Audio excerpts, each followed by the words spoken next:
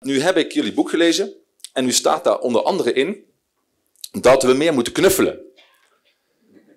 Hoe zit dat? Want stellen we nu voor dat we de volgende partijraad, ja, dames en heren, de volgende partijraad, dat we dan beginnen met een uitgebreide knuffel. Is dat wat jullie willen? Dat is inderdaad heel goed. En dat heeft te maken met een uh, hormoon dat wij afscheiden als we knuffelen. Dat is het zogenaamde knuffelhormoon of oxytocine, soms ook uh, gelukshormoon genoemd. En dat heeft twee pieken, dat is bij knuffelen en bij vrijen.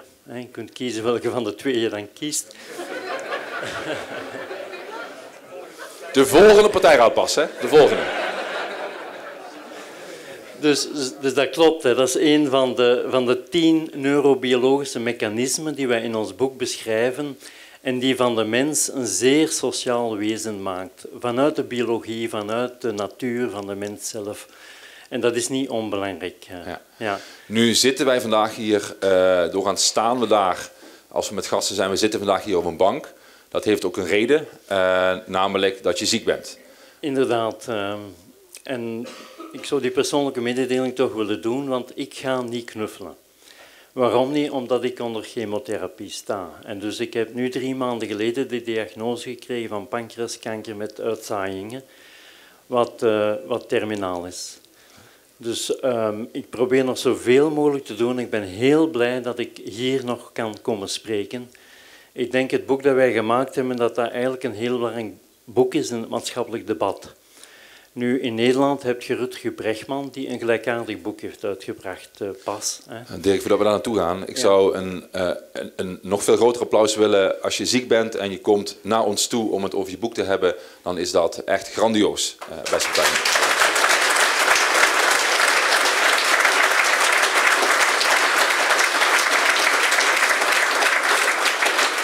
Eh, het boek is voor mij, nu ik weet dat het einde nadert, ehm, is dat voor mij zo een filosofisch sluitstuk van mijn geëngageerd leven. En daar kan ik het overal allee, rond opbouwen. En ik word heel graag uitgenodigd, zolang het gaat, als ik staande en gaande ben, om erover te spreken. Dank u. Dank je wel. Johan, waarom zijn jullie begonnen met het schrijven van het boek? Wel, dat is een lang verhaal. Hè. Dus, um, We hebben een uur. Uh, ik, ik, ken Dirk al van uh, toen hij nog uh, in retorica zat, dus dat is al een tijdje geleden. En ik was een vorster bij Jans Farmaceutica. En we hebben kennis gemaakt als inderdaad een, marxistisch geëngageerde mensen. waarna, door dat engagement, Dirk is gaan werken um, in uh, een leerlogerij. En, dus, uh, en ik werd buiten gezet wegens mijn politieke activiteiten. Want jij werkte bij de farmaceutische industrie? ja, ik werkte bij de farmaceutische industrie. ik heb er geen bezwaar tegen gehad, want op die manier heb ik voort kunnen werken aan fundamenteel onderzoek. niet in België, maar in Frankrijk. Dus ik heb 26 jaar in Frankrijk gewerkt. En dus we zijn elkaar uh, verloren geraakt, een lange tijd. Totdat uh, er een boek verschenen is na de dood van Paul Jansen, die dus de oprichter was van Jans Pharmaceutica. En waar ik in werd vernoemd.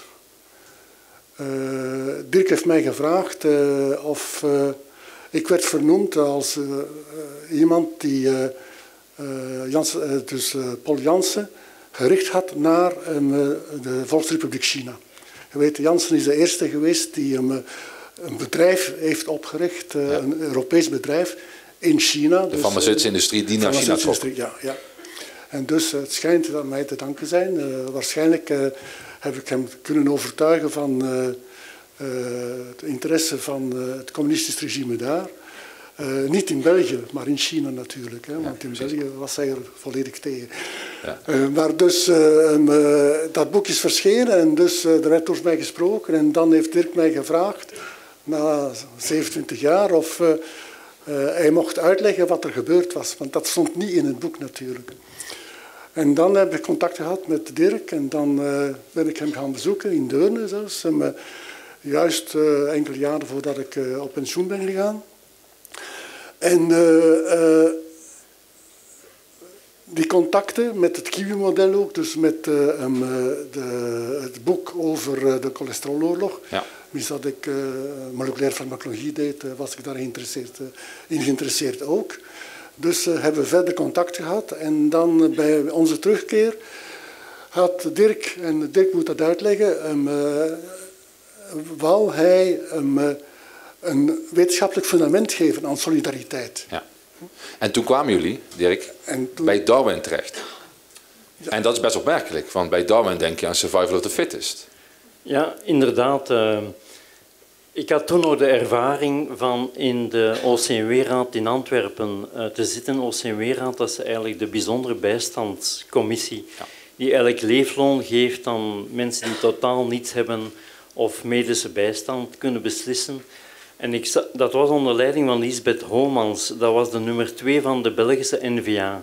Dus ik denk wel dat dat, hier gekend is. Dat is de meest neoliberale, bijna fascistische partij. Ik durf het woord laten vallen. En dus wat ik daar gezien heb, was een verschrikkelijke racistische deliberatie waarbij dat uh, politieke raadsleden die pas terugkwamen van een golfersvakantie in Lissabon, zongebruind, over het lot van armen gingen beslissen en geen enkel mededogen aan de dag legden, racistische argumenten gebruikten, maar ook heel veel deden aan victim blaming. Dat wil zeggen dat ze de armen zelf de schuld van hun miserie in de schoenen schuiven. En dat klonk voor mij als sociaal Darwinisme. En sociaal Darwinisme... En je moet even uitleggen dat uh, in België het zo werkt dat die OCW-raad dat die dus uit verschillende politieke partijen bestaan die beoordelen of iemand recht heeft op bijzondere bijstand. Ja, dat klopt. Dus dat is belangrijk. Dat zijn politieke raadsleden die beoordelen of iemand uh, recht heeft in de armoede om bijstand. Maar de argumenten die in die deliberatie werden gebruikt, dat was zo tegen de borst stuitend.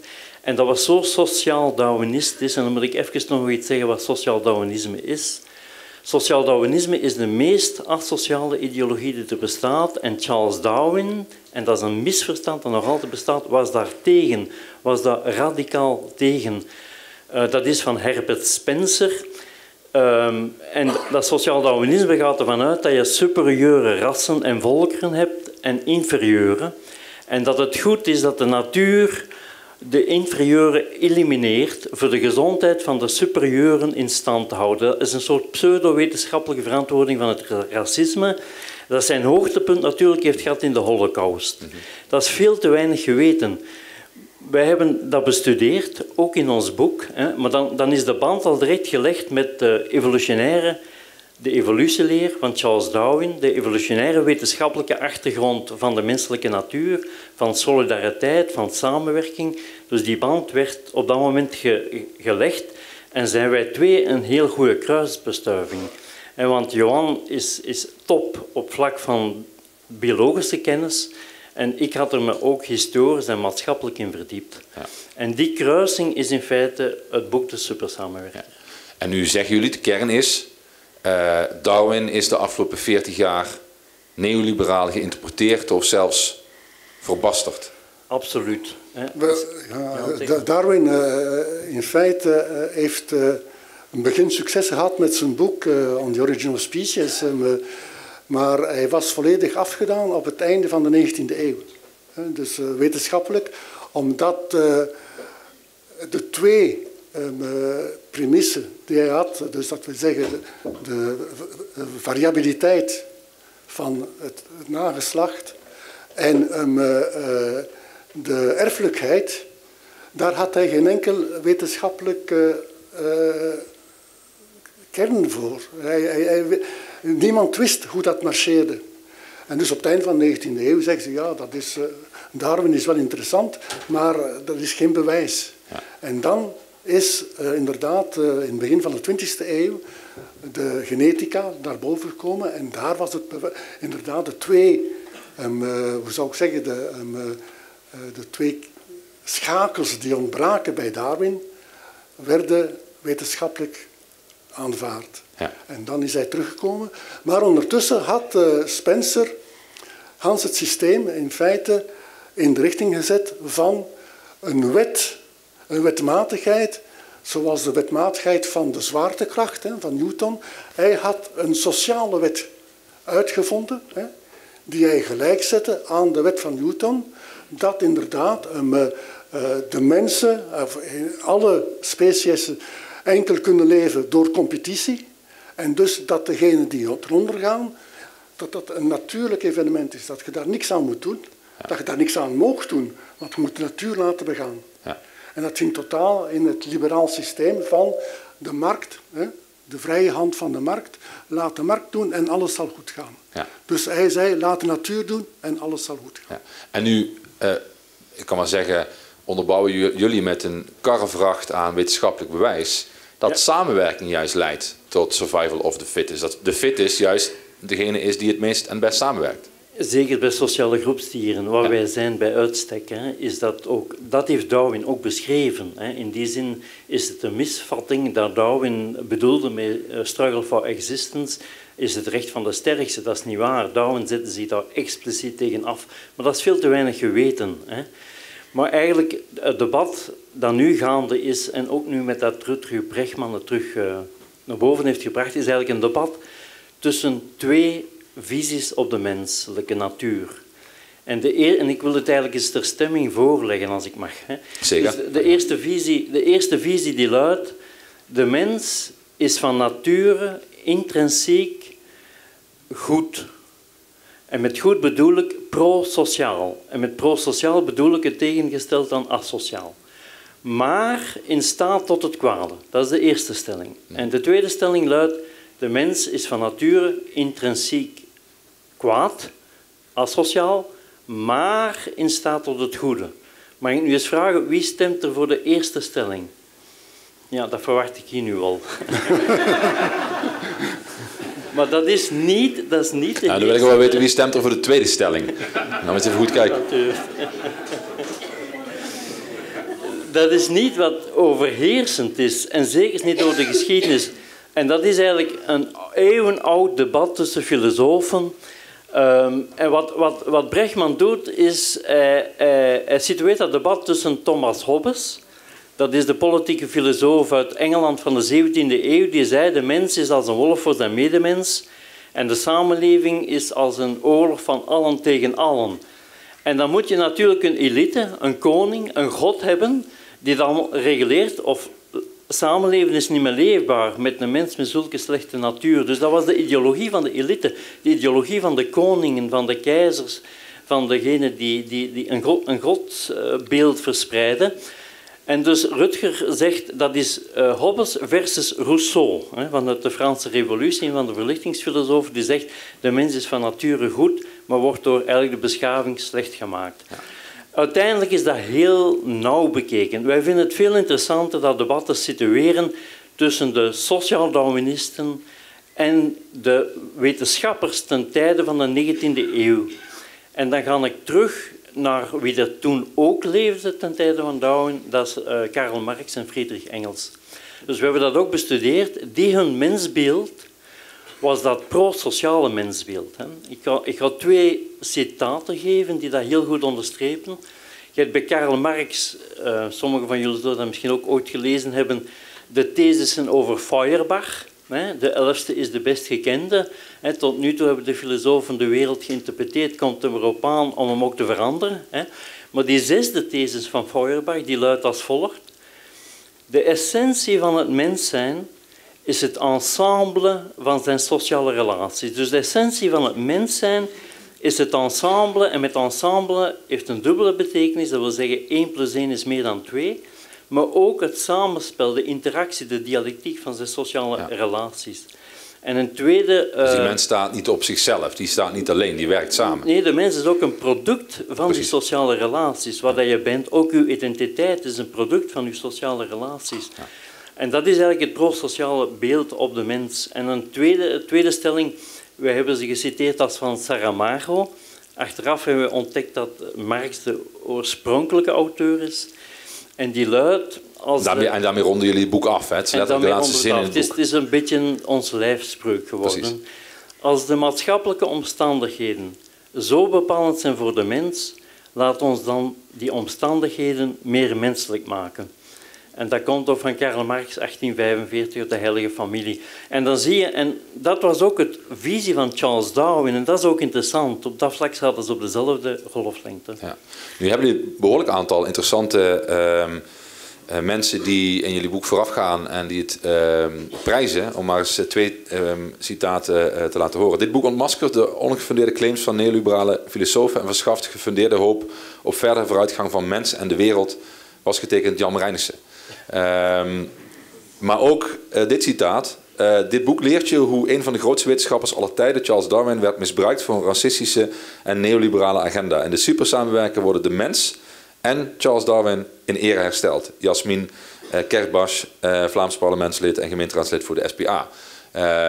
en nou ja, een sociaaldemocraat, om het zo te zeggen. die reageert op een boek eh, geschreven door mensen die eh, eh, lid of sympathisant zijn van de Partij van de Arbeid in België, wat zoals we weten de SP in België is. Um, Johan, wat zijn jullie? Jij bent biochemicus. Um, en jullie hebben, zoals ik al zei, een karrevracht aan wetenschappelijk bewijslast geleverd. Waarom Darwin, de claim dat Darwin voor, voor concurrentie zou staan, vals is. Kun jij een voorbeeld geven van de, de, de, de, het wetenschappelijke bewijs dat het juist gaat om samenwerken om vooruit te kunnen komen?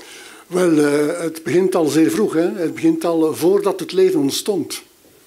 Dus uh, men weet nu dat het leven ontstaan is waarschijnlijk door um, uh, wat ribonucleïnezuur wordt genaamd. Dat is een, um, ik zal er niet verder op uitgaan, maar dus, dat zijn um, producten, uh, biopolymeren, dus polymeren, die zichzelf kunnen vermenigvuldigen. Dus zonder dat uh, leven nog bestond, konden zij zichzelf vermenigvuldigen. Maar zij deed dat zeer slecht. Je weet dat, we zeggen alles in ons DNA, DNA vermenigvuldigt zich, maar zeer betrouwbaar. Hè. Je kunt een fout maken, twee keer op één miljard, heb je een fout. Dus dat is, mm -hmm. Terwijl uh, het uh, ribonucleïnezuur, dat is veel, veel gemakkelijker, maakt veel gemakkelijker fout. En dus het kan verkeerd lopen. Wel, um, om dat op te lossen, en dat is onlangs bewezen geweest, hebben vier van die ribonucleïnezuren elkaar, met elkaar samengewerkt om elkaar te controleren. Mm -hmm. Zodat het product dat zij vormen veel beter is dan dat zij het alleen zouden kunnen doen. En, en dan een lekenvraag, uh, dat mag op mijn laatste partijraad. Wat betekent dat voor de mens, voor de ontwikkeling van de Wel, mens?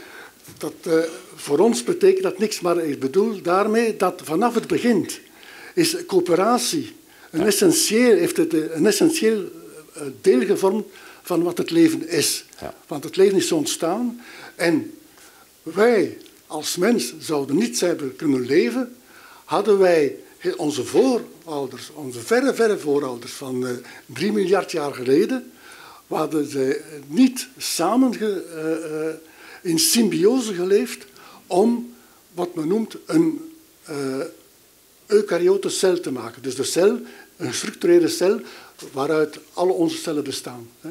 Dus dat is enkel gebeurd en dat is eenmalig.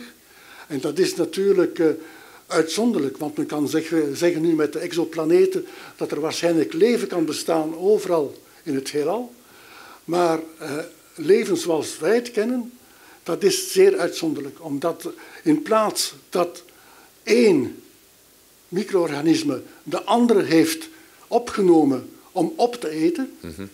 heeft dat micro-organisme de andere opgenomen in zich opgenomen om gebruik te maken van de voordelen die dat organisme schonk. En zo, en zo werd het en samen beter. De ene ja. kon profiteren van het organisme dat hij had uh, ingeboren, maar degene die was uh, opgenomen profiteerde van de bescherming die de ander gaf. Ja. En zo die twee tezamen hebben gemaakt dat de cellen zich konden vergroten omdat de ene gaf de energie, de ander gaf het voedsel. En na een tijd is er dan ook, zijn er meer cellen ontstaan. Dat wil zeggen dat verschillende cellen zijn bij elkaar gekomen, hebben een werkverdeling veroorzaakt. Dus sommige waren verantwoordelijk voor de voeding, anderen waren verantwoordelijk voor de bescherming, anderen waren verantwoordelijk voor de productie.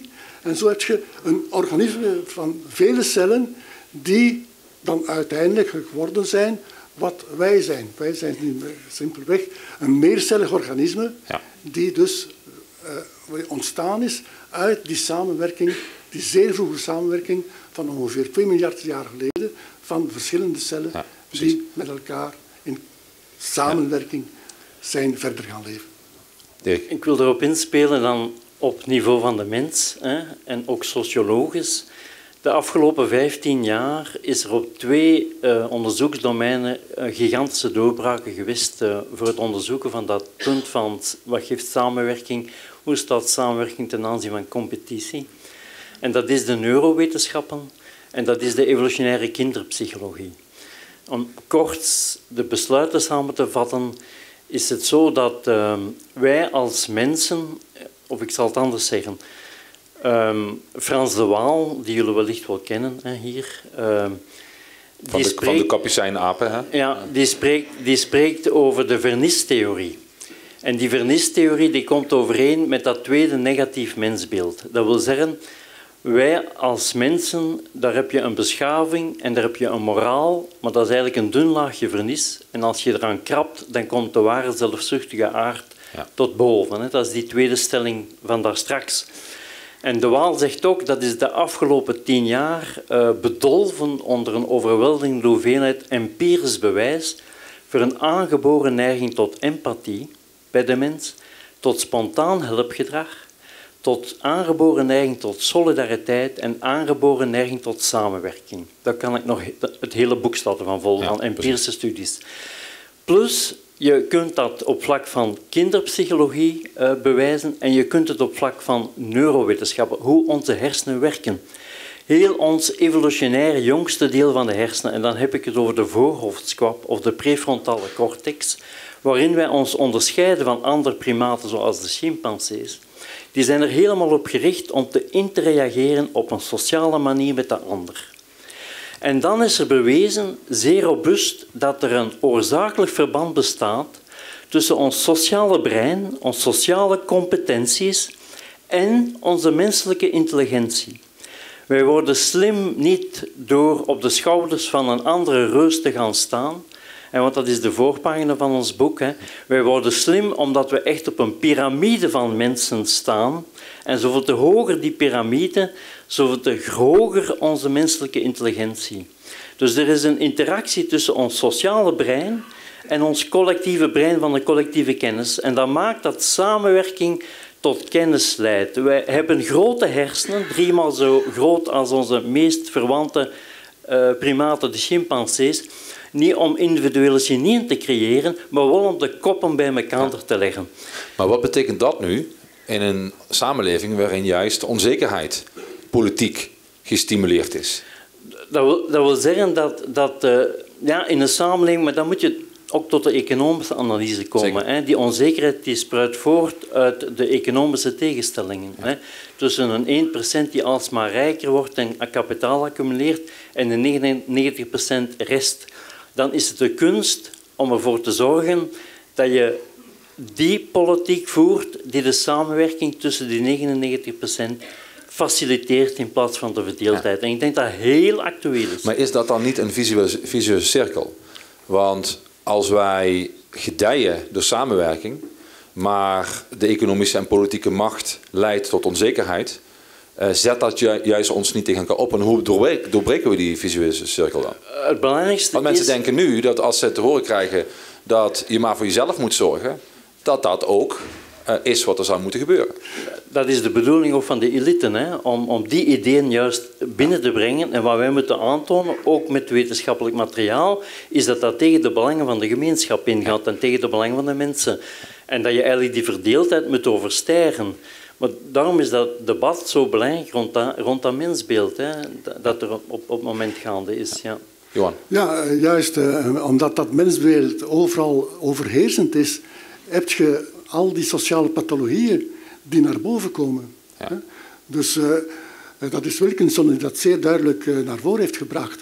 Hoe groter de ongelijkheid in een maatschappij, En hij heeft dat zelf gezien in de verschillende staten van de Verenigde Staten. Hè. Dus uh, hoe groter de ongelijkheid in die 50 staten, hoe meer criminaliteit je hebt, hoe meer um, uh, vroege zwangerschappen je hebt, hoe meer analfabetisme je hebt, hoe meer mentale um, problemen je hebt.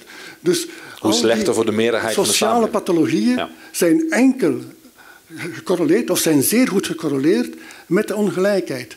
Ze zijn niet gecorreleerd met het bruto nationaal product. Ze zijn niet gecorreleerd met um, uh, uh, de winsten van uh, de Wall Street. Nee, ze zijn totaal gecorreleerd met de ongelijkheid. Dus sociale pathologie en ongelijkheid zijn zelfs kausaal verbonden. Dat heeft Wilkinson ook getoond aan de hand van stresshormonen. Ja. Hij toont duidelijk aan dat de stresshormonen in die ongelijke maatschappijen, zowel bij de rijken als bij de armen, naar boven gaan. De rijken voelen zich niet op hun gemak. Bedreigd. Ze zijn altijd bedreigd. Niet alleen eh, niet door de armen, mhm. maar door die competitie onderling. En daardoor zijn het, eh, laten we zeggen, de sociopaten die inderdaad de hoogste posten bekleden. En dat ziet je nu met mensen als Trump. Ja. Dus, eh, en dat is ook bewezen geweest. Dus in de grootste firma's in de Verenigde Staten, normaal zijn de leiders daarvan meer dan 4% sociopaten. Waar je in een normale sociëteit ongeveer 1% hebt. Dus er is een, tussen een Darwiniaanse selectie. Ja, dus de competitie maakt de rijken, uh, bedreigt de rijken ook nog. Dus niet eens de armen, maar de rijken die zichzelf bedreigen in die, in die samenleving. Nu gaan we zo meteen, want de livestream die uh, loopt en die gaan wij zo meteen beëindigen. Al is het maar om we vinden dat mensen thuis vooral het boek moeten lezen.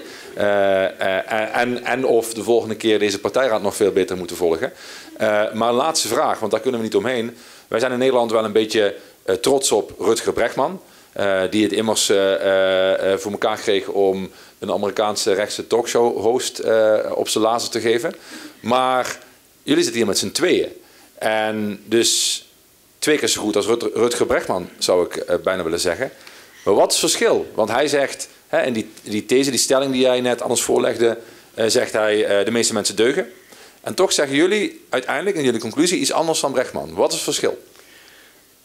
Het verschil is vooral dat uh, Rutger um, stelt dat dat nieuw mensbeeld, dat pro-sociaal mensbeeld, dat dat boven de rechts-links tegenstelling staat. Dat dat nog socialisme, nog kapitalisme is, en maar dat dat iets nieuw is. En wij zeggen dat is echt totaal niet waar. Dat is historisch niet waar. Ik heb het voorbeeld gegeven van... En zeg je daarmee dat hij het ontideologiseert? Want dat is ook niet wat hij doet, toch? Dat is wat hij wel doet. Hij depolitiseert het in feite. Hij depolitiseert het debat op, op die manier. En dat, dat is de grote meningsverschil met hem. We zijn ook veel complementair, moet ik ook zeggen. Dat mhm, herkent hij ook, want uh, hij erkent dat de supersamenwerking de wetenschappelijke basis geeft die hij niet gegeven heeft. Maar hij is heel goed in het ontmaskeren van de grote sociale psychologische experimenten à Milgram met die electroshocks of de Stanford Prison experiment, wat eigenlijk leugens zijn. Dat is heel goed voor hem. Maar het meningsverschil is, is niet dat mensbeeld, want daarover zijn we het eens, maar wel hij depolitiseert dat. En wij zeggen nee, ten eerste is dat consequent links. En met links dat bedoel ik niet de sociaaldemocratie die geprivatiseerd heeft in Europa, uiteraard. Dat is niet dat. Hè. Maar dat is wel het socialisme van de SP Nederland of van de PvdA België, dat is iets anders. Hè. Wij zeggen, het, het is een authentiek mensbeeld en dat hebben we zelf ervaren. Met authentiek bedoel ik, je gaat af op je eigen ervaring, op je eigen onderzoekswerk, op je eigen studiewerk. En wij hebben onszelf als PvdA België vroeger dikwijls bezondigd aan het dogmatisch kijken naar buitenlandse voorbeelden. Dat is het niet wat je moet doen. Zoek het zelf uit. En ten derde, het is ook een radicaal linksmensbeeld. En met radicaal bedoel ik niet extremistisch, maar terug naar de radix, naar de wortel. Bestudeert Karl Marx, Engels en Darwin alsjeblieft aan de bron en spreek er dan over. Maar laat u niet misleiden over al die commentaren die erop gegeven zijn. Dat is een enorme rijkdom aan materiaal dat je krijgt, dat vandaag in de wetenschappen bevestigd wordt. En dat is een enorm optimistisch mensbeeld. Ja. En dan laten we daarmee uh, de mensen thuis achter door op zijn minst te zeggen, als je de meeste mensen deugen uh, leest, dan moet je op zijn minst ook de supersamenwerker lezen. Dat lijkt mij een goede conclusie. Absoluut. En de, en de twee zijn heel belangrijk complementair. En dan kun je zelf de conclusies trekken. Kwestie van de politisering van het mensenbeeld. Ik denk dat Rutger Bachman daar ook mee kan leven. Dank jullie wel thuis. Wij gaan nog even door hier met vragen uit de zaal. En uh, thuis alvast uh, ga, het boek halen, want het is fantastisch om te lezen.